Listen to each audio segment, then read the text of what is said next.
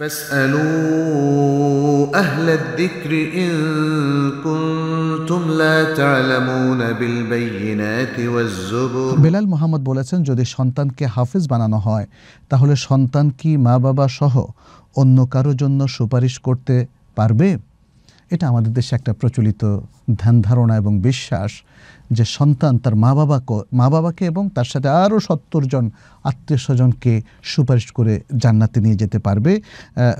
মূল কথা হলো যে এভাবে মা বাবাকে খাসভাবে এবং আরও সত্তর জনকে আমভাবে নেওয়ার পক্ষে কোনো সহি হাদিস নেই।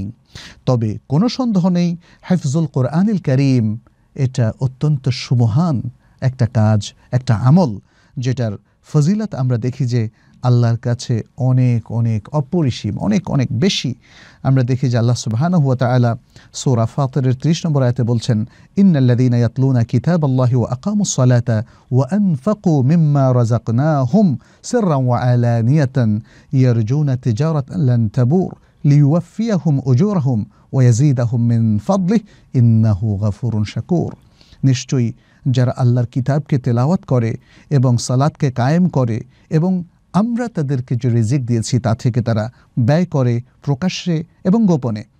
তারা এমন এক তিজারার প্রত্যাশা করে যা কখনোই ক্ষতিগ্রস্ত হবে না, যেন আল্লাহ তাদেরকে তাদের পুরস্কার পরিপূর্ণ করে দিতে পারেন এবং তাদেরকে তার অনুগ্রহ বাড়িয়ে দেন। নিশ্চয় আল্লাহ ক্ষমাশীল এবং দানশীল।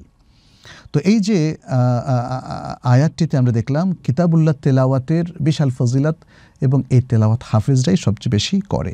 হাদিসের মধ্যে এসেছে যে কেয়ামতের দিন কোরআনকে নিয়ে আসা হবে এবং কোরআনের সাথে তার কোরআনের আহাল, আহলুল কোরআনকে নিয়ে আসা হবে, যারা সে কোরআন অনুযায়ী আমল করত এবং তাদের সামনে থাকবে সুরাতুল বাকারাহ সুরাত আল ইমরান।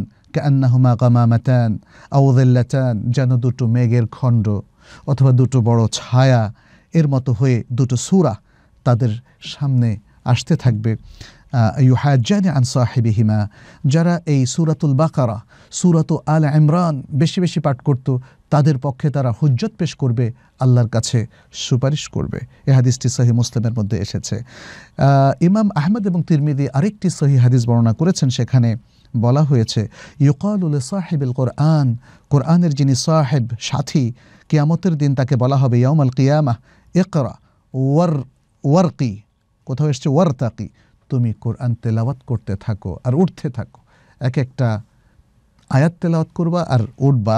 ওরাত্তেল কামা কুন্তা তোরাত্তেল ফির দুনিয়া, আর কোরআনকে ধীরে ধীরে তুমি তারতিলের সাথে তেলাওয়াত করো। যেভাবে দুনিয়াতেও তুমি করতে ফাইন্না মানজিলাতাকা আইন্দা আখিরে আয়াতিন তাকরাউহা কারণ তুমি শেষ যে আয়াতটি তেলাওয়াত করলে, এরপরে আর কোনো আয়াত বাকি নাই।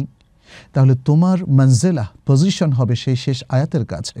তার মানে যত বেশি আয়াত তোমার জানা আছে, তুমি তেলাওয়াত করবে, তাহলে একটা আয়াত তেলাওয়াত করলে তোমার মঞ্জেলা একটা সিঁড়ি বেড়ে যাবে, তারপরে আরেকটা, তারপর আরেকটা। শেষ যে আয়াতটা তুমি পাঠ করলে এরপরে আর যদি তোমার কাছে আর কোনো নতুন আয়াত না থাকে, তাহলে সেখানেই তোমার মঞ্জেলা নির্ধারিত হয়ে যাবে। এতে বোঝা গেল যে হাফিজুল কোরআনদের মঞ্জিলা সবচেয়ে আলা দারাজায় থাকবে, কারণ তাদের কোরআনের সবগুলো আয়াত মুখস্থ। অতএব তাদেরকে যখন এই পারমিশনটা দেওয়া হবে, তখন তারা কোরআনের সবগুলো আয়াত তারা তেলাওয়াত করে ফেলবে এবং সবগুলো আয়াতের শেষ আয়াতের পরে তাদের অবস্থান। যার পরে আর কোনো মুসলিম তো আর কোনো নতুন আয়াত নিয়ে আসতে পারবে না, তাই না? এটা তো আল্লাহ তালাই নির্ধারণ করে দিয়েছেন। আর এক্ষেত্রে এতটুকু বলা যায়, যদি আল্লাহ সুবহানাহু তাআলা দয়া পরবশ হয়ে কাউকে, কোনো হাফিজুল কোরআনকে সুপারিশ করার অনুমতি দেন এবং আল্লাহ সুবাহতাল্লাহ মোমিনদেরকে অবশ্যই অনুমতি দিবেন, আল্লাহ ছাড়া আর কেউ সুপারিশ করার অনুমতি দেবে না। এবং আল্লাহর সুপারিশ ছাড়া কেউ অনুমতি করতে সুপারিশ করতেও পারবে না। মাইয়াস ফর এন্দাহু ইল্লা বিইদনি আল্লাহর অনুমতি ছাড়া কে সুপারিশ করবে? আয়াতুল কুরসির মধ্যে তো আল্লাহ তালা সেটা বলেই দিয়েছেন। অতএব সুপারিশের নানা গাল গল্প এটা রচনা করা, এটা অন্যায় হবে এবং সেই জন্য অবশ্যই আমাদেরকে আল কোরআনের সূত্র থেকে দলিল নিতে হবে এবং সহি সন্না থেকে আমাদেরকে অবশ্যই দলিল নিতে হবে। অন্যথায় এই ধরনের বক্তব্য দেওয়াটা আমাদের জন্য অত্যন্ত গর্হিত হবে। আমরা আশা করি হাফিদুল কোরআন দুনিয়া এবং আখিরাতে সবচেয়ে বেশি সম্মানিত ব্যক্তিবর্গের অন্তর্ভুক্ত হবেন এবং দুনিয়া, দুনিয়াতে তিনি, তারা মানুষের সবচেয়ে বেশি উপকার করতে পারবেন কোরআন দিয়ে দুনিয়াকে আলোকিত করা যায়।